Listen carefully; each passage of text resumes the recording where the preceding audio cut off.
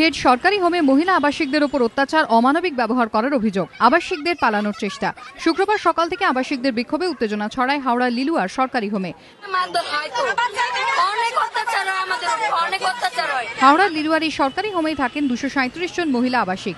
অভিযোগ প্রতিদিন হোমে অমানবিক ব্যবহার করা হয়। খাবারের মান নিম্নমানের। এই অভিযোগে বৃহস্পতিবার রাতেও বিক্ষোভ দেখান বেশ কয়েকজন আবাসিক।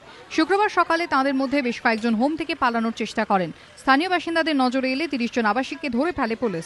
হোম কর্তৃপক্ষের বিরুদ্ধে অত্যাচারের অভিযোগে সরব আবাসিকরা।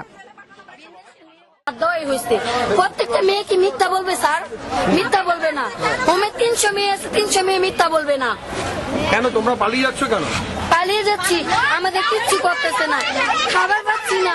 অত্যাচার হচ্ছে। আর কি করছে? হ্যাঁ? আর কি করছে? আর অনেক কিছু। এর আগে হোমের ভিতরে বেলা বাড়ার সঙ্গে সঙ্গে আবাসিকদের বিক্ষোভ বাড়তে থাকে। বিক্ষোভ সামলাতে ঘটনাস্থলে যায় বিশাল পুলিশ বাহিনী। পুলিশ জানিয়েছে, এই হোম থেকে আবাসিকরা কেন বারবার পালানোর চেষ্টা করছেন তা খতিয়ে দেখা হচ্ছে।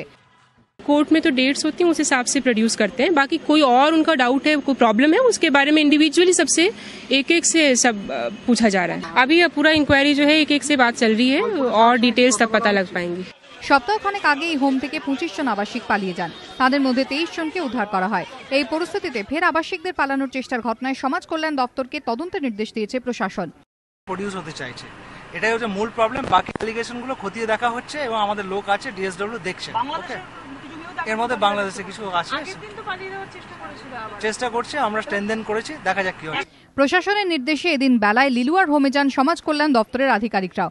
আবাসিকদের অভিযোগ খতিয়ে দেখার আশ্বাস দেন তারা। যদিও হোম কর্তৃপক্ষ আবাসিকদের অভিযোগ অস্বীকার করেছে।